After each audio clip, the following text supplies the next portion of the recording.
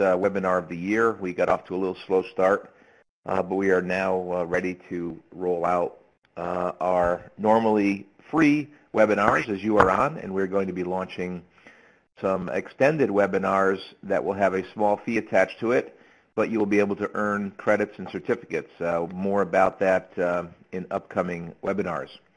Uh, today's topic, five challenges to managing big data, came about when I was visiting a conference, when I was attending a conference and visiting some friends uh, from the Philippines, and I asked her, you know, what's on your mind, and from a quality point of view and excellence point of view, and she said, well, we need to know how to manage big data, and I said, well, what's the big deal? It's just data, and you sample data, and you do it right. And she says, no, no, we, there's a there's a thing out there about managing big data sets.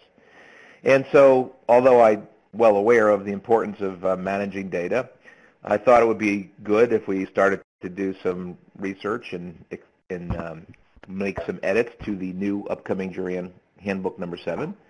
And so the result of my uh, researching, the result of my inquiries about managing big data uh, is part of the presentation today. Uh, this is not a statistical analysis presentation, although it could get rather technical if we were to extend it. Uh, it's not an IT uh, program discussion. It's mainly a business discussion. I want to share with you uh, what we've learned and what I've learned about the differences and difficulties of managing big data. Uh, and so my intent was to give you a presentation that you might be able to pass on to others so that they could get a head start or a better understanding. Uh, many of our clients, obviously we teach statistical analysis and, and, data analytics, and we help our clients improve performance. And some of them are small, some of them are large. Uh, many of them have very large data systems, and they're always having difficulty uh, pulling information out of data, and the more you have, the more difficulty you have. So hopefully um, we can give you some information that might make it easier or at least get a better discussion going in your organization.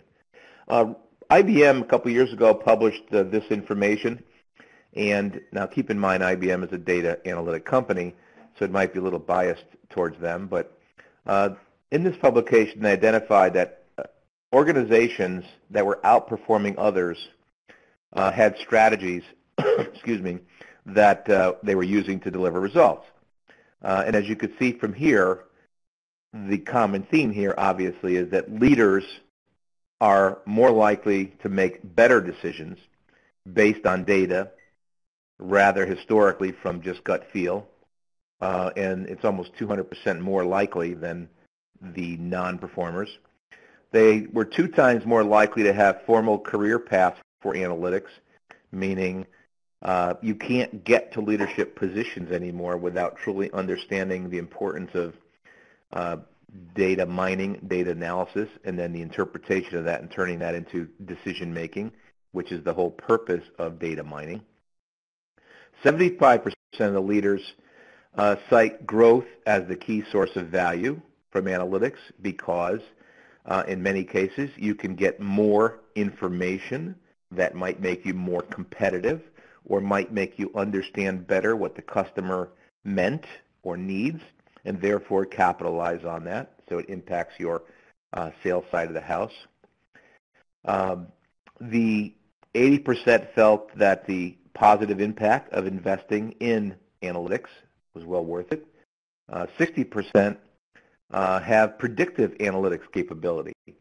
And uh, as we think about problem solving and getting information to solve the problem, and we get that information from data, and that data um, is coming from historical performance, the speed and the magnitude of the data we have today can have actually enable us to predict performance more readily and more quickly um, because it's coming in in real time and much faster and greater than ever. And lastly, leaders from uh, some form of shared leaders had some form of shared analytic resources. So we know um, leadership is dealing with big data, particularly on the consumer side. If you're in pharmaceuticals or healthcare, you're dealing with human populations and they're larger than they've ever been. So capitalizing big data from IBM showed that leaders really need to know it. So my purpose of this session is to really help you do that. Here's some pretty interesting ways to start thinking about big data. Um, you know, every 60 seconds, 98,000 tweets, almost 700,000 updates on Facebook, uh, 11 million instant messages, 700,000 Google searches, 170 million emails sent, uh, 1.8 terabyte of data created, and 217 new mobile web users.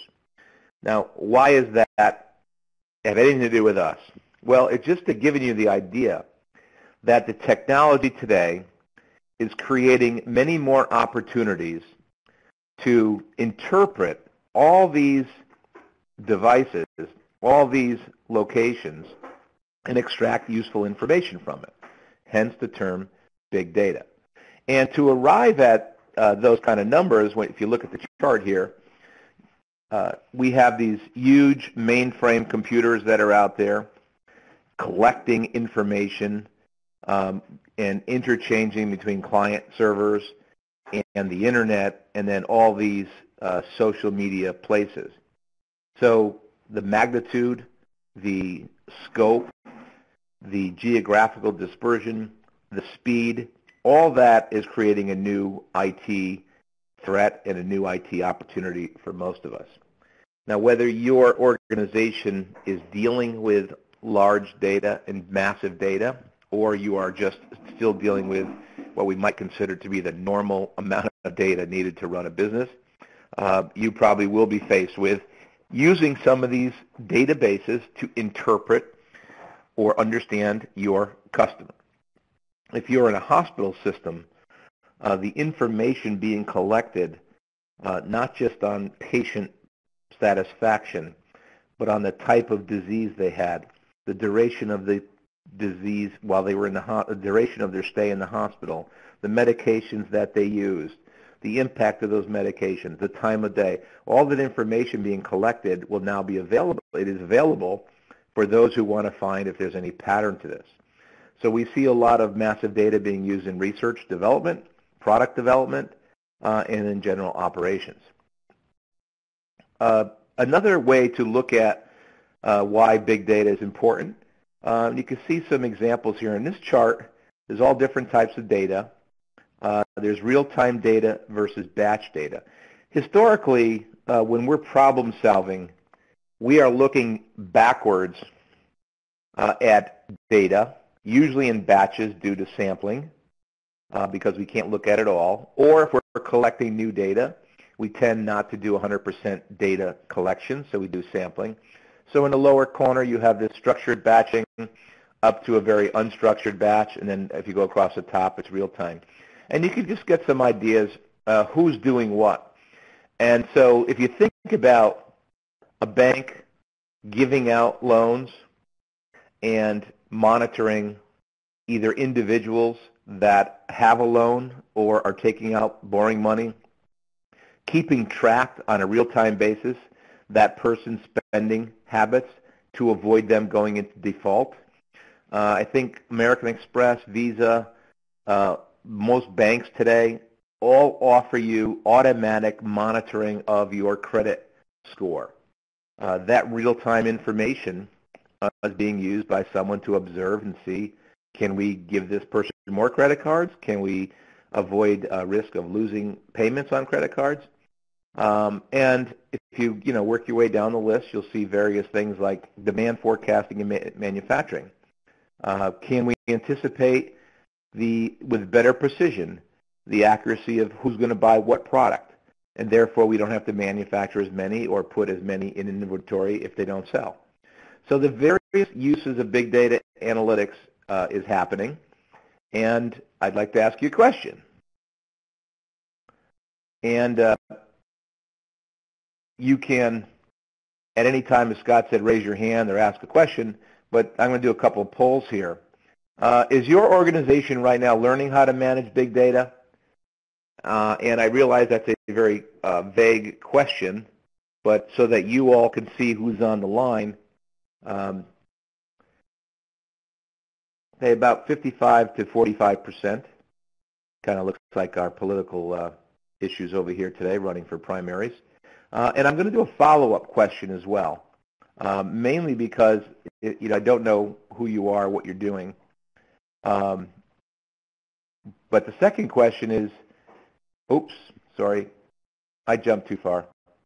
The poll below it, sorry. Uh, what kind of difficulties are you actually having if you are managing big data? And uh, I realize that's now there on the screen. Um, so some of you said storing and you know storing warehouses of data, uh, multiple disjointed systems. Uh, if I hear one more time, we're trying to get our systems to talk to each other. Um, compiling the data from various locations.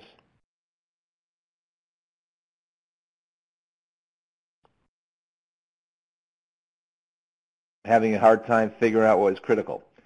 So although I can't answer them all, uh, we can record these and, and we can use them in future webinars. I'm going to try to tackle some of them um, so that maybe you can have more information uh, to go home and, and talk to your bosses about.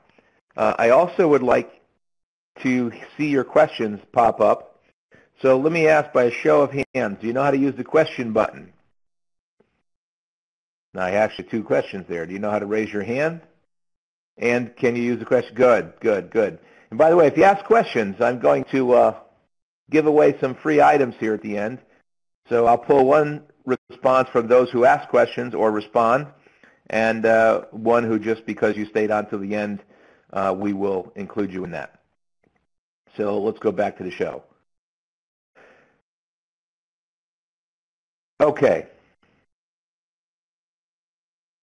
Got a lot of yeses there. Good. Thank you, folks. Uh, one day we're going to be able to do this real-time FaceTime. So one thing I want to share with you, uh, and, and this is our Juran point we want to make. No matter how big the data set or how complicated the method, if the bits and bytes of data don't give you useful information that answers clear questions with action implications, it's merely noise. Meaning, whether you're looking at big data or little data, if you, if you are not getting the information you need, the size of the database isn't going to be matter to you. John Early is one of our uh, is the statistician in our organization, and he works for the Bureau of Labor Statistics. Uh, he is someone who you don't want to get in a fight with when it comes to analysis of data. Uh, and we like to make this point because we teach root cause analysis, we teach green belts, black belts, Six Sigma, and one of the most difficult things is to get people to understand that you have to collect data, you have to uh, plot the data, you have to interpret the data to make decisions.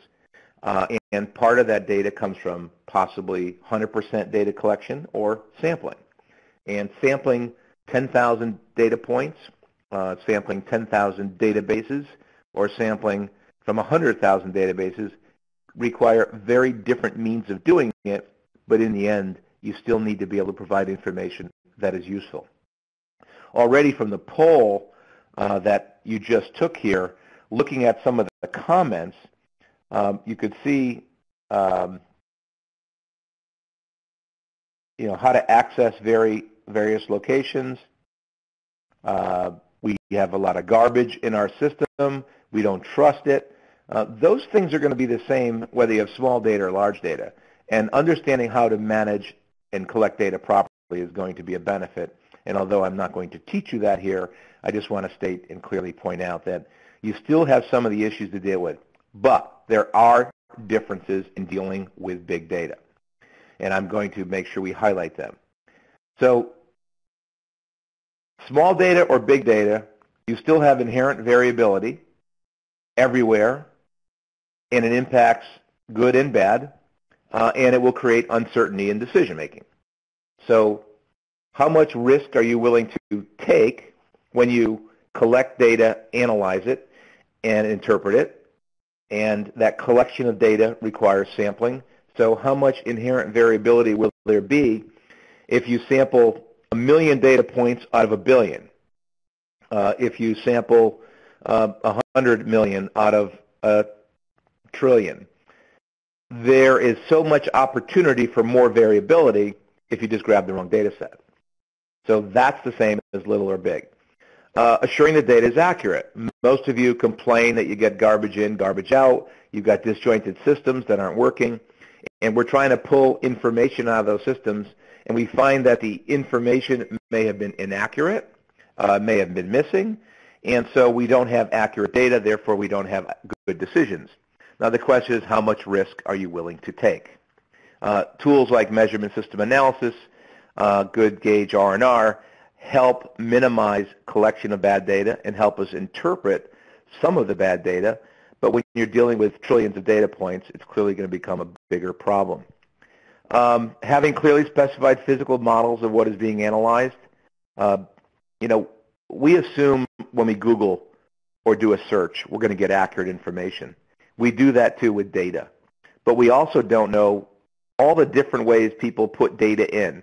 Did they interpret it properly? Did they not interpret it properly? So any of the physical models you're being used, those also probably are going to be impacted. And then lastly, knowing the inherent limitations of your assumptions uh, in the methods being used. All data and analytics come down to decision making and how much risk we are willing to take. If we are just trying to determine uh, whether a consumer is going to buy our good tomorrow in certain placement on the shelf, that's one level of risk. Or if we're determining what medication to give cancer patients that might turn around their cancer is a whole different set of risk. The more risk you have, the less risk you want, the more difficult and more important implications you have from mining big data and not getting the right answer. So what does big data provide us? Well, first of all, it gives us so much information so much faster. Uh, we can get experiments, observations, simulations in so many areas uh, in huge, huge amounts. I didn't even know the term petabytes existed. Um, and uh, I've been working with a science organization recently, and where nanoseconds was a very fast time, we're looking at time frames at the atomic level, which are obviously much faster. But the requirement of science is forcing us going at both ends of the scale. Um, most of you probably had a four, uh, maybe a four megabyte, then gigabyte, and now terabyte, and a bunch of them of data storages on your shelf, on your computer, or in the cloud. Uh, obviously, those are being filled up with all kinds of stuff. Uh, analysis of the information contained in these sets have led to major breakthroughs, uh, particularly in the genome. Uh, with the billions and billions of data points uh, to map the genome, and then interpreting that information, we've been able to come up with new medications, new ways to test, new ways to treat uh, sicknesses. Um, we've done the same thing. I came out of an uh, astronomical type company in my early in my career, and when you're dealing of dealing in light years and billions of light years, uh, you've got quite a bit of information that you're collecting, and now with this information, you're able to determine that we've got new planets and new new black holes and, and emerging solar systems, et cetera. The traditional methods of analysis um, have been largely on the assumption that we can work with the data within the confines of our own computing environment, but now we're also looking at someone else's environment. Uh, and lastly, this big data is changing the paradigm that the traditional methods uh, aren't going to be good enough for us. And these methods have to change because the data is distributed across many, many different data storage environments. And with that, uh, not just speed, but with that comes uh, difficulty in assuring that all the data is rich and good. Uh, by a show of, oh, here we go.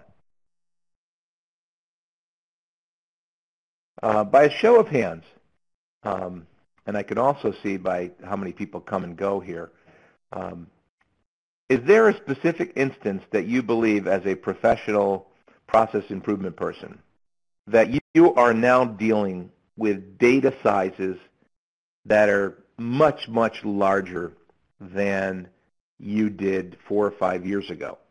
Uh, in other words, the problem solving you're doing or the process control you're doing you're dealing with such large data points. I'd just like to see how many of you are dealing with that today.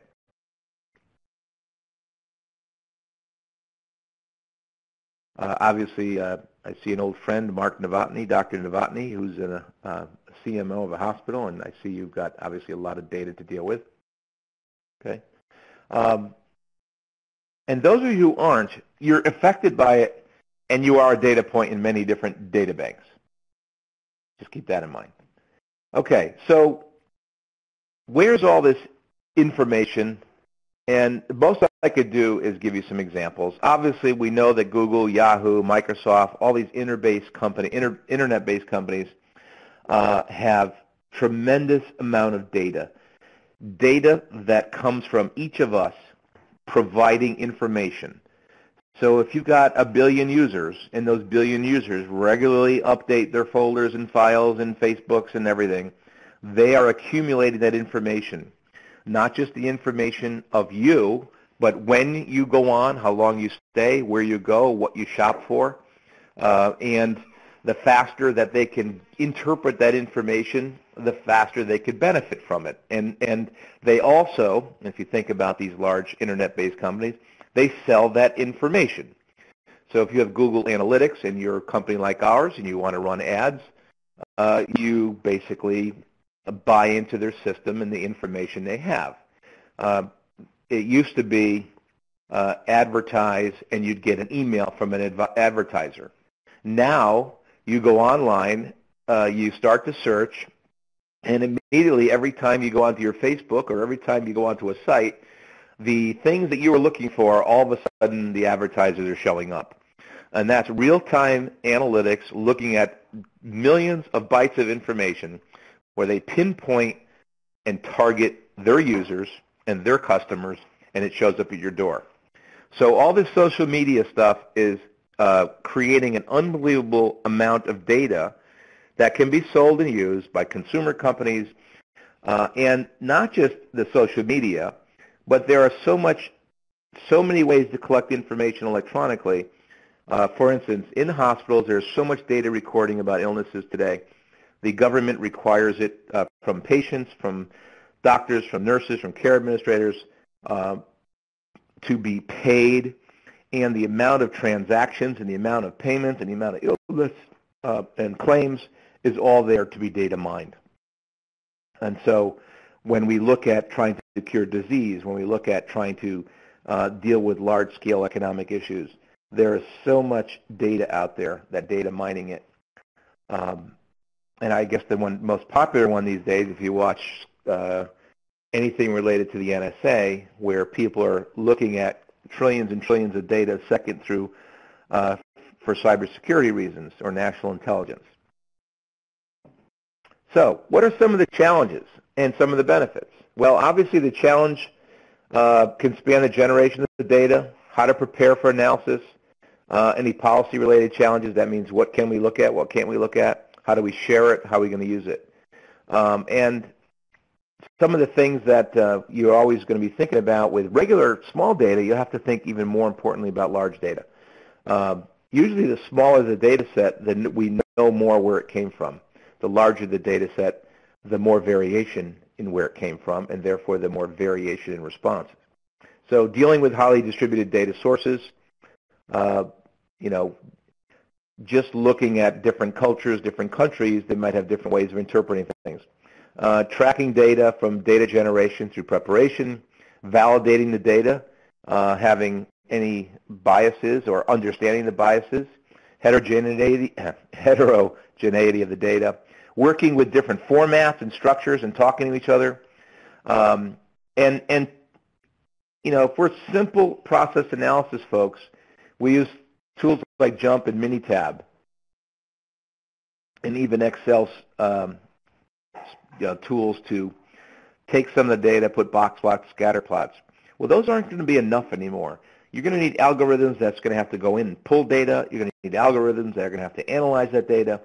And therefore, the complexity of your process analysis toolkit is going to get that much greater.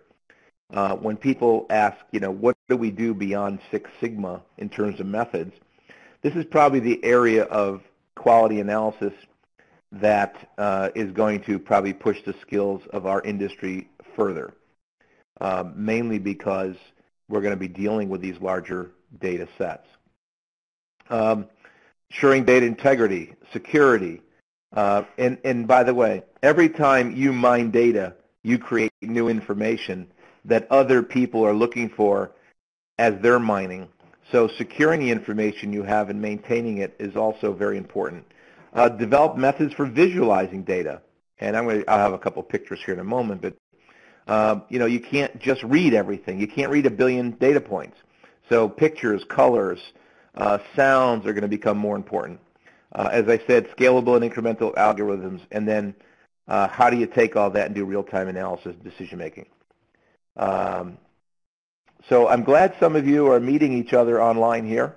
I think we have a new uh, Juran Meet a Friend portal. It looks like someone just uh, ran into somebody on our little chat there, so congratulations. Uh, I'm glad we found some friends for you. Uh, big data, why it's important? Well, because number one, it gets more accurate, faster decision making. That's pretty simple. Uh, the longer it takes to get information, the, the smaller your window becomes to see through. So the faster you get it and the more accurate get it. Uh, you could result in less uh, compliance failures, uh, fewer recalls. Uh, let me give you a recall example. I think um, uh, Snickers or one of the candy bar companies, there was a piece of plastic found in it, and they did a recall in 55 countries for, I believe it was Snickers. I'm, I'm sorry if I was wrong. I'm not going to go on. Uh, it was Mars, actually. Thank you. And a way to think about this in terms of compliance failures or costly recalls, if we knew exactly the, the lot, the amount, the place where that plastic might have been found, and we had that data in real time, maybe we could minimize the impact of that recall. Maybe we could minimize uh, the impact of any failure. Uh, so that's the, the drama behind that. Uh, we can make cost reductions faster and bigger. Uh, we can get more sales to customers because if a customer comes in looking for something that we don't have and our competitor has it and we find they have that, then we can easily try to sell them something else.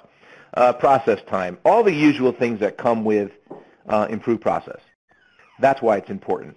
And if if many of you in non-data driven environments hate managing little data, you're probably not going to like managing big data because right now everybody needs it, everybody has it, and it's only going to get more of it. Um, and when you get more data over longer periods of time, it's going to take a lot more um, kind of non-individual analysis to take a look at that data. So you see more team efforts at analyzing and interpreting data. But all of our industries uh, have this big data, and you're all dealing with it. Uh, I can't tell what industries you're from, but I did mention healthcare a couple times. Can I just see by a show of hands how many of you are in the healthcare supply chain? And that means hospitals, pharmaceuticals, etc. Uh, the reason I bring this one up, other, other than probably uh, banking, uh, it's probably the one that's generating the most amount of data, not necessarily information that's out there.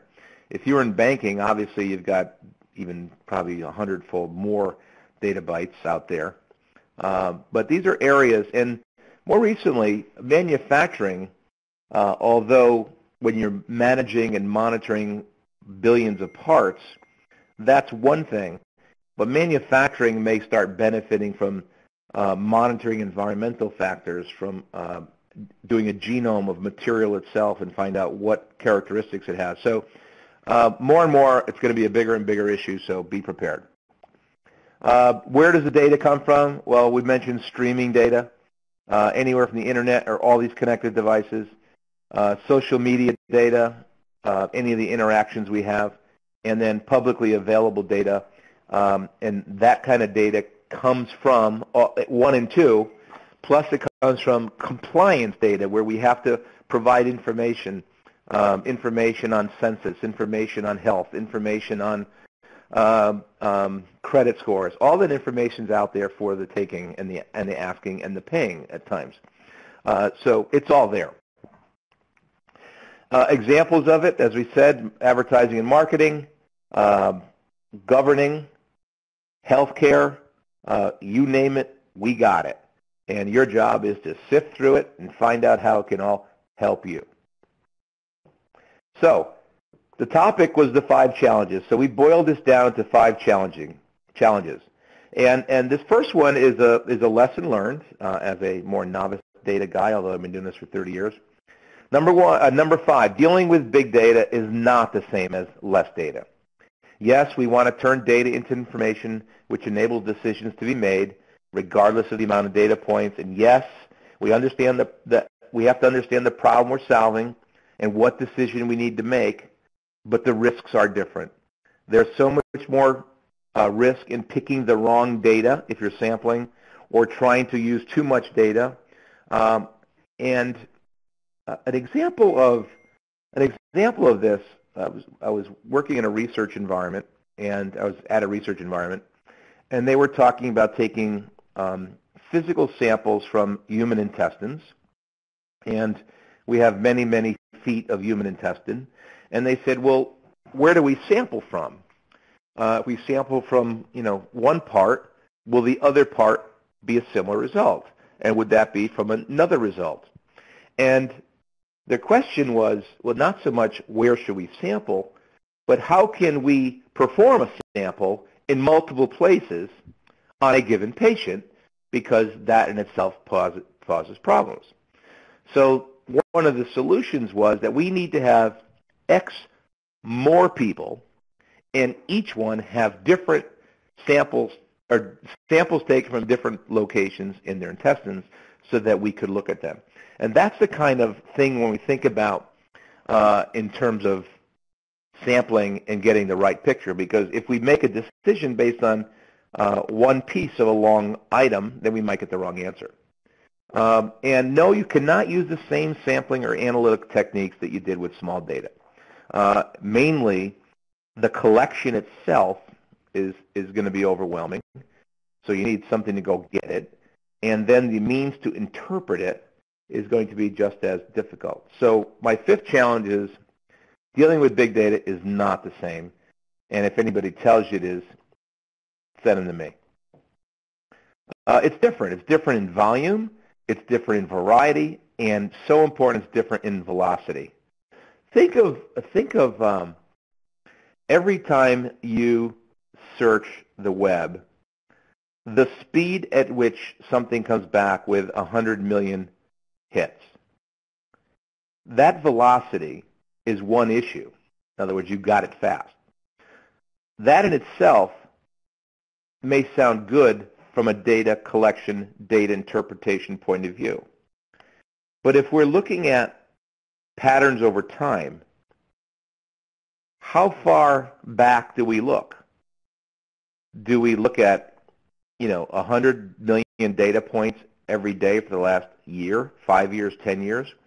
So the interpretation, because of the velocity, drives the volume. The volume then, and it, it forces us to start challenging and creating more risk as to what data we're pulling and how we're interpreting it. Uh, and really the big word in, in a lot of the big data is the inferential part. We're inferring from what we collect that it's representative of a larger body. And those inferences could be good and they could be bad depending on how accurate uh, we pull that information out and use it. And then the third part is the variety. So we call the three V's of data, big data, velocity, volume, and variety. There's so much stuff out there, uh, and we have to be careful that we don't try to, and this is the problem. A lot of companies have SAP or big, big um, database systems and problem-solving teams say, we, we have all the data in SAP. Well, number one, pretty good chance you don't have all your data in SAP. And secondly, that system only collects data it needs. And so, uh, but it does have a lot of variety. So when we think about data systems we have, you're probably going to start to go beyond your systems and look in other systems. And so you do have quite a bit of variety. Number four, uh, we're unsure how to store, many organizations are unsure how to sort and store, or store and sort this information. Um, obviously, every organization begins to store its information in their own databases. Then those databases go to warehouse databases. Then those databases also go to the cloud. And then those databases connect to other databases, etc. So how to store it and how to store it in large volumes, how to access it, and how to uh, protect it. Um, what parts of the data do I analyze? Do I need it all? Uh, are we? And, and one of the thoughts I had was, we tend to look at data when we're looking for trends over history, some period of time. And going back to my comment earlier, good data analytics comes from good questions to ask. So if I said, what has the consumer thought about product X over the last three years, and I got that information, could I have gotten that same information from 100 million more data points over the last three weeks? And would I have made the same decision? In other words, if I looked at the data that's coming in in a very short period of time, but because there's so much of it, would that be an uh, interpretive of all the patterns over the last three years? Because people's patterns also change quicker. Uh, third, get help you need early on. Um, you know, there are, if you're a big company and you got big data, there's a pretty good chance that the people you have internally uh, are not the experts on managing big data. And, and I will tell you, I'm not. Uh, and we are clearly going to try to ramp up to make sure that we have a team of folks that are capable of dealing with these large vats of data.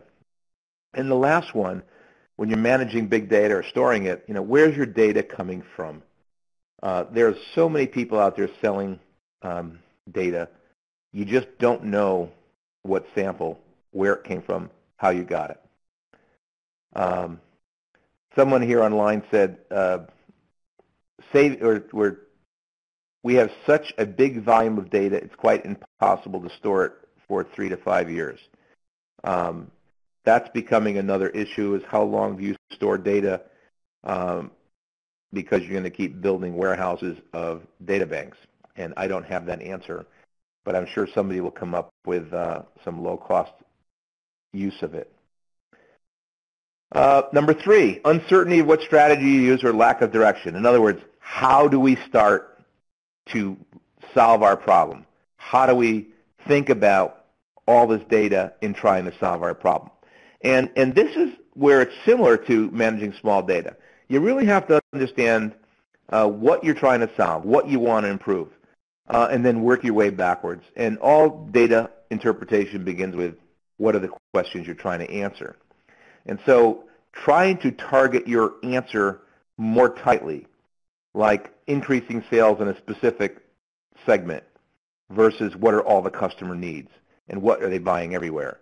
Uh, trying to go after specific types of advertisement instead of saying, you know, what drives the consumer to do this, say, how, how does my consumer respond to my marketing material? Uh, so the narrower the question, the better chance you're going to have at interpreting the data and getting the right data. The broader the question, that means the broader the data and the bigger the problem. And so uh, that uncertainty and lack of direction is probably going to get resolved, and one of our tips is uh, with uh, data analysis teams that have enough intelligence in, the, in this subject as well as analytical capabilities to be able to minimize the risk of getting the right answer. Uh, so if you think about big data analytics, this is one picture that I found that was uh, just illustrative, that you've got this huge amount of sources. You're extracting data. You're enriching it, which means you are turning it into information, and then you deliver it. Uh, the delivery of it, and if you do that in a nanosecond, you've got it made. Uh, the problem we have is, do we access the right sources? Do we extract the data properly? Uh, is it good enough for what we need? And do we know how to enrich it? And enriching it really means do we know how to pull the information from data? Uh, contrary to most people, I would rather see warehouses full of information rather than warehouses full of data. But one person's data is another person's information, and one person's information is another person's data. It's all dependent on what you're trying to do. Uh, challenge number two, uh, lack of assuredness on how to use the information. Uh, right now, we make a lot of bad decisions with the data we have. Let's get more of it and let's see how bad our decisions come from then. Uh, so there's going to be more emphasis placed on importance of experimenting and testing, uh, testing out your theories and hypotheses, uh, and then taking the information and before and before you um, release all that knowledge into new products or services, probably going to see more testing and validating that the information we got from large databases are more true and better. Uh, and if you think about it, historically, we would look at smaller databases, get information, make decisions based on that, launch a product, and that product would sell 80% of what we thought it would sell or use 90% of the time. This way here, we're probably going to see more information collected, better understanding of what's driving behavior, do some testing of that, then ramp up, then sell, and get a 90% sale.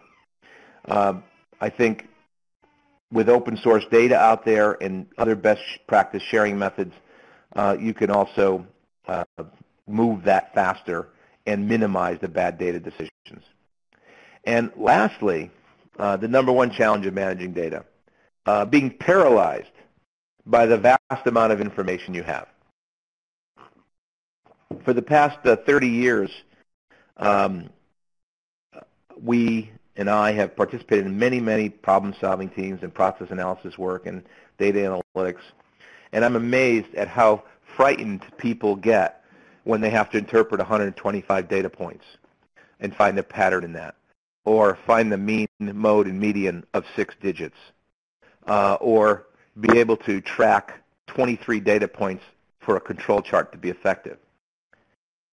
Think about that same person who you might be one of, now being put into a position. I got my green belt training, my black belt training, I'm a lean expert, and now I'm going to a company, and the first thing they say is, we have 100 million users, and we need to solve these problems. We have a billion claims. How do you do it? So the you get overwhelmed very quickly, and that overwhelmingness leads to paralysis. You just don't know what to do. And so uh, you're going to, uh, like me, when I responded to my friend from the Philippines, I said, what are you worried about big data for? You manage it the same way a little data. So there's a resistance because you think you know what you're talking about. Um, IT folks, although they love IT, I don't think they ever were put in a position to have to manage so much information in so many directions.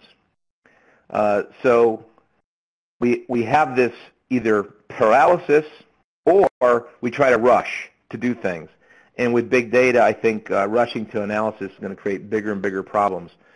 Um, I think one of my fears is that uh, misinterpreting large databases when it comes to science or technology, and we put some uh, pretty big stakes in the ground by making some decisions or new drugs or or, or um, medical advances based on the wrong information. You can see where that's going to go.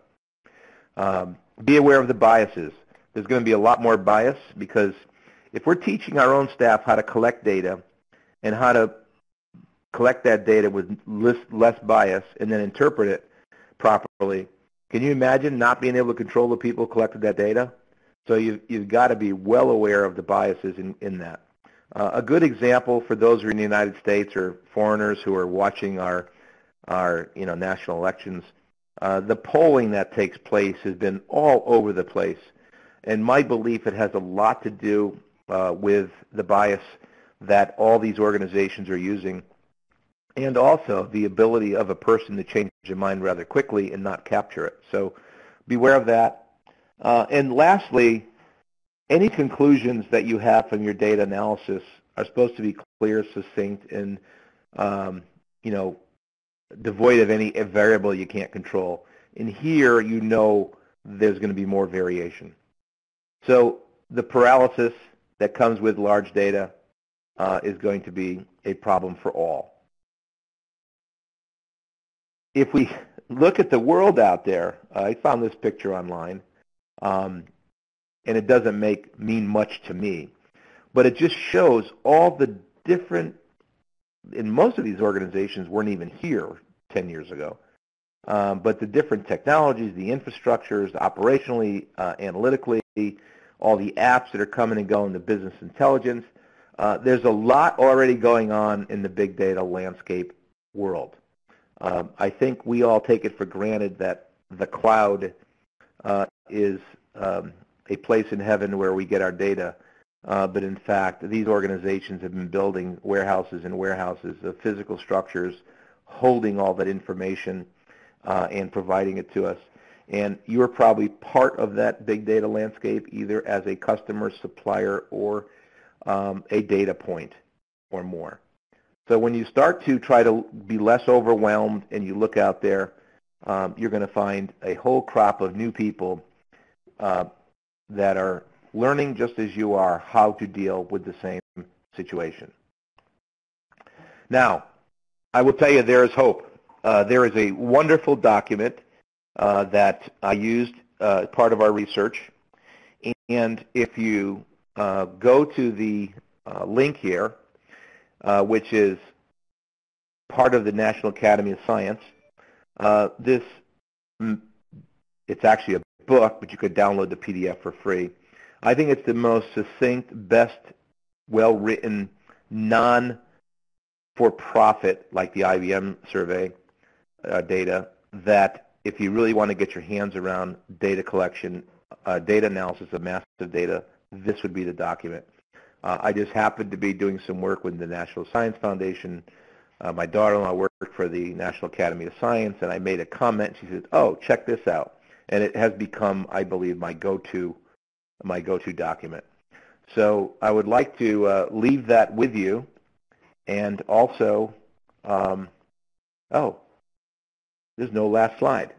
So I'm going to leave that with you, and also, oh, here we go, and also open it up to some comments, some questions. Uh, if you've been on my webinars before, uh, we've had more pictures and more moving documents. Uh, I found that this topic was a difficult one to present without having a lot of dialogue. Uh, so I hope you uh, didn't find that uh, less interesting. Um, and I also now would like you to uh, pass on any questions you have. Um, someone did ask a question, will Six Sigma evolve to support big data analysis? Um, I think I think the answer, the, the real question should be, are Six Sigma process analysis practitioners able to evolve and are they evolving? Not will they. In other words, we have no choice. We have to learn, we're going to have to learn how to manage, I mean, our job is diagnostician. Our job is process analysis. Therefore, we have to interpret data. So if you're going to be in an organization where there's massive amounts of data, then we have to evolve. Uh, I guess a point you could raise here is, is Six Sigma good enough when dealing with this massive amount of data? And um, because one of the things about massive data is you get long tails in your frequency distribution. So maybe 8 Sigma is going to become the uh, mantra or 10 Sigma is going to become the mantra. Who knows? Um, What might the algorithms for big data be like? I have no clue.